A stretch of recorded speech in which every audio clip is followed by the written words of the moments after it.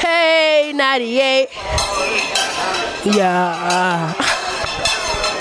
1738. Yeah, so we're at the foodie in Lagos Food Fair and Lagos Home Show. Been here for a while. As you can tell, I'm sweaty. Like I'm not even kidding. I'm sweating like a lot. The weather is ridiculously hot, but there's lots of food, small chops, stir fry, there's candy, there's sorbets, there's alcohol, fat bastard. Um, there's loads and loads of vendors here, and so far I've had fun relatively. Um, people are still, you know, coming, tripping in after church. So we're still here talking to people about their comfort food, foods, the meals that they can make best. That proper English, yeah. And so yeah, we're still here, man. You guys, stay tuned. Beach. We're still at the foodie in Lagos Food Fair and Lagos Home Show. And we're here with a really lovely lady. I love her hair. Thank you. Right. Anyways, so what is your comfort food? What food uh, makes you happy when you're sad? What food do you eat when you're depressed? Because we all get like that, right? Yeah. Yeah. So Okay, I have a few. Pizza, pasta, chocolates.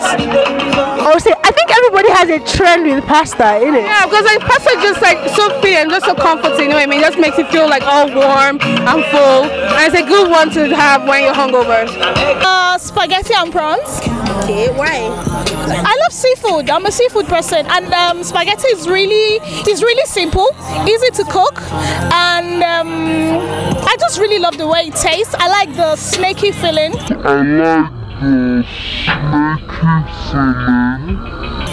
Snaky feeling, in it. Yeah. Hmm. Honestly, I don't have one. Sing. I actually don't have a choice food. I eat anything and everything. Anything and everything that looks nice. Yeah, that's what I do. Okay. So he's not a Picky guy. yes. He's not picky at all. way my heart is not through my stomach. It's through what? It's not through my stomach. It's Ooh, off camera, please. We can't talk about such things, please. Thank you very much for interviewing with us. Say, say hi to everybody. Hello everyone. Um, very happy to be here, and I'm a very big foodie. Yay, thank you.